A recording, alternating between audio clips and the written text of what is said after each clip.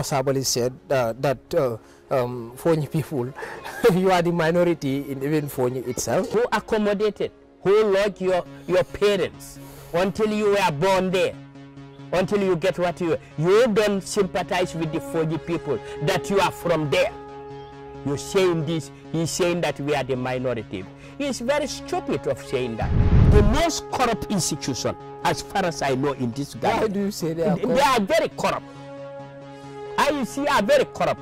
How? Ali Mamarija is very corrupt. Let me tell you, what a dead man walking. I used to say, Ali Mamarija is a dead man walking. You know Adama Barrow? We all know Adama Barrow. Adama Barrow stood in front of everybody and said, even the MPs, I bribed them. And Jako Samusa is my is my witness. Ahmad Ba and others, very corrupt. Now we have seen. We wanted these people who are saying that they want this country. Now we have seen them. We have seen them how they are. How greedy they are, we have seen them. The most greedy, the most greedy, greedy, greedy minister is Ahmad Ba. Very greedy.